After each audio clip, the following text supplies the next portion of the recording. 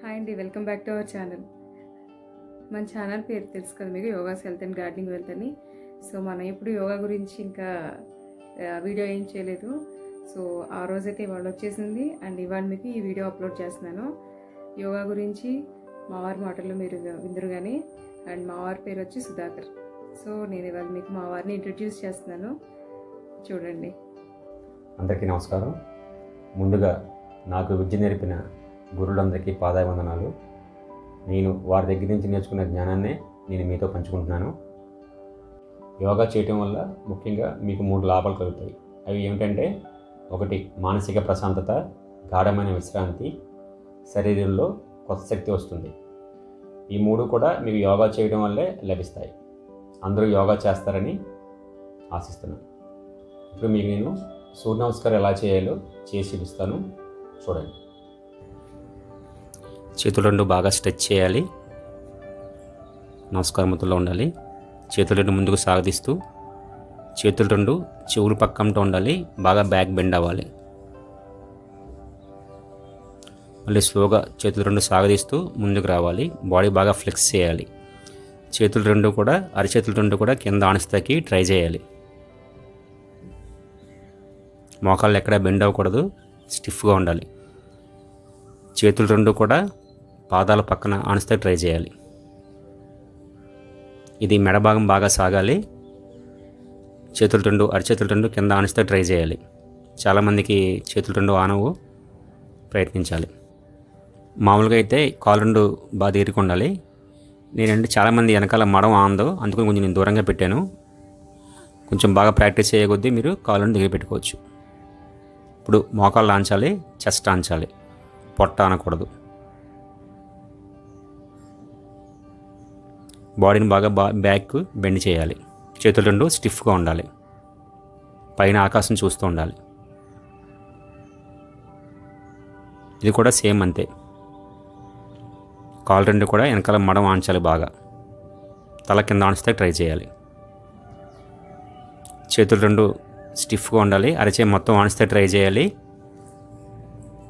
మెడ భాగం బాగా సాగాలి. పైకి చూస్తూ ఉండాలి. ఆకాశం చూస్తూ ఉండాలి. అరచేయి మొత్తం ఆనిస్తాకి ట్రై చేయాలి.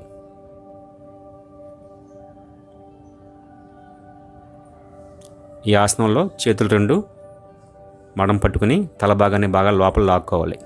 మోకాళ్ళు బాగా స్టిఫ్గా ఉండాలి. మోకాళ్ళు ఎక్కడా బెండ్ అవ్వకూడదు. కళ్ళు మూసుకుని మీ బాడీని గమనించుకుంటూ ఉండాలి. మీకు ఎంతవరకు వస్తే అంతవరకు ప్రయత్నిస్తూ ఉండాలి. చేతులు రెండు బాగా సాగదీస్తూ చేతులు రెండు చెవులు పక్కంతో ఉండాలి. బాగా బ్యాక్ బెండ్ అవ్వాలి. మళ్ళీ స్లోగా నమస్కార చేతులకు వచ్చేయాలి. సూర్య నమస్కారాలు చేయటం వలన అన్ని ఆర్గాన్స్కు రక్తం సరఫరా బాగా జరుగుతుంది. గుండె ఊపిరితిత్తులు నాడీ మండలం బలోపేతం అవుతాయి. శరీరంలో కండరాలు గట్టిపడి బలోపేతం అవుతాయి. శరీరంలో కీళ్ళన్నీ సులభంగా కదులుతాయి. అంతేకాకుండా జీర్ణశక్తి బాగా అభివృద్ధి చెందుతుంది. ఫేస్ గ్లో కూడా బాగా పెరుగుతుంది. మీకు మళ్ళీ ఇంకోసారి చేసి చూపిస్తున్నాను. ఆసనము ఆసనం పేరు మంత్రం కూడా కలిపి చెప్తాను. సరి వినండి. ఓం మిత్రాయ నమ. ఫస్ట్ది ప్రణవాసనం. ఓం రవయే నమ. హస్త ఉత్తానాసనం. ఓం సూర్యాయ నమ. పాదహస్తాసనం.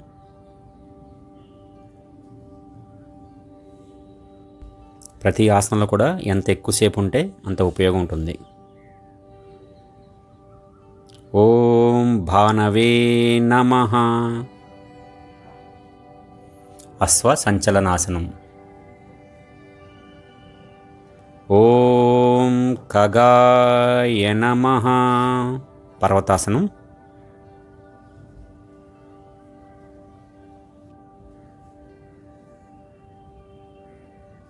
ఓం పూష్ణే నమ. చతురంగ దండాసనం. ఓం హిరణ్యగర్భాయ నమ. భుజంగాసనం. ఓం మరిచేయే నమ. పర్వతాసనం. ఓం ఆదిత్యాయ నమ. అశ్వ సంచాలనాసనం. ఈ సూర్యనమస్కారాలు ఎవరైతే చేయకూడదంటే ప్రెగ్నెంట్గా ఉన్నవాళ్ళు హార్ట్ కాంప్లికేషన్స్ ఉన్నవాళ్ళు సర్జరీ చేయించుకున్న వాళ్ళు ఈ సూర్య నమస్కారాలు చేయకూడదు. ఓం సవిత్రే నమ. పాదహస్తాసనం. ఈ సూర్య నమస్కారాలు ఉదయం చేసుకుంటే మంచిది. ఒకవేళ ఉదయం కుదరకపోతే సాయంత్రం కూడా చేసుకోవచ్చు. చేసేటప్పుడు మాత్రం కడుపు ఖాళీగా ఉండాలి. ఇది ఈ సూర్య నమస్కారాలు బిగినర్స్ ఆరు లేకపోతే తొమ్మిది కూడా చేసుకోవచ్చు. ఓం మార్కాయ నమ హస్త ఉత్తానాసనం. ఓం భాస్కరాయ నమ. ప్రణవాసనం. ఇప్పుడు మనం కపాలభాతి ప్రాణాయామం ఎలా చేయాలో తెలుసుకుందాం. ఇప్పుడున్న పరిస్థితుల్లో ఈ కపాలభాతి ప్రాణాయామం చాలా ఉపయోగపడుతుంది. దాన్ని ఎలా చేయాలో చేసి చూపిస్తాను. చూడండి. వదిలే శ్వాస ఫోర్స్ వదలాలి. పొట్టని బాగా లోపలికి కొట్టాలి. మీ దృష్టి అంతా పొట్ట మీద ఉండాలి. ప్రాణాయామం వల్ల లంగ్స్ మొత్తం క్లీన్ అవుతాయి శ్వాస సంబంధించిన వ్యాధులన్నీ రెక్టిఫై అవుతాయి. నాడీ మండలం బలోపేతం అవుతుంది.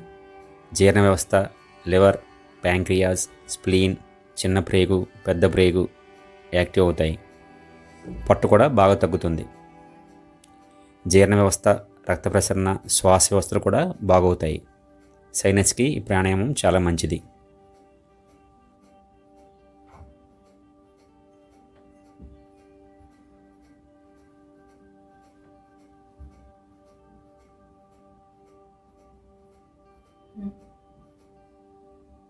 అలసిపోతే నాలుగైదు శ్వాసలు తీసుకుని మళ్ళీ చేయాలి. కళ్ళు మాత్రం తెరవకూడదు. మీ దృష్టి అంతా పొట్ట మీద ఉండాలి. పొట్టని ఎంత లోపల కొడితే అంత మంచిది. ఈ ప్రాణాయామం ఎవరైతే చేయకూడదంటే హార్ట్ డిసీజ్ ఉన్నవాళ్ళు బీపీ ఒట్టిగో మోర్చ హెర్నియా అల్సర్ ఉన్నవాళ్ళు మరియు ప్రెగ్నెన్సీ ఉన్నవాళ్ళు కూడా ఈ ప్రాణాయామం చేయకూడదు.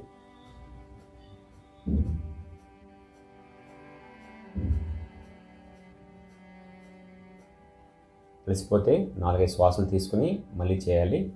శ్వాస మాత్రం చేసేటప్పుడు పీల్చకూడదు ఆటోమేటిక్గా మీకు శ్వాస వెళ్తుంది. వదిలే శ్వాస ఫోర్స్ వదలాలి. పొట్టను బాగా లోపలికి కొట్టాలి. మీ దృష్టి అంతా పొట్ట మీద ఉండాలి. ఈ కపాలపతి ప్రయాణము ఫైవ్ హండ్రెడ్ నుంచి ఫిఫ్టీన్ హండ్రెడ్ వరకు చేస్తేనే ఫలితం ఎక్కువగా ఉంటుంది. మళ్ళీ నెక్స్ట్ వీడియోలో కలుద్దాం. Do yoga stay healthy. చూసారు కదండి వీడియో? మీకు నచ్చినట్టయితే లైక్ చేయండి షేర్ చేయండి అండ్ సబ్స్క్రైబ్ చేసుకోండి. ఆల్ అని ట్యాప్ చేస్తే మీకు అన్ని నోటిఫికేషన్స్ వస్తాయి. నేను ఎప్పుడు వీడియో పెట్టినా. అండ్ తర్వాత మీకు ఏమైనా డౌట్స్ ఉంటే నాకు కమెంట్ సెక్షన్లో మెన్షన్ చేయండి. తప్పకుండా మీ డౌట్స్కి ఆన్సర్స్ అయితే ఇస్తాం. అండ్ మళ్ళీ నెక్స్ట్ వీడియోలో కలుద్దామండి. నమస్కారం.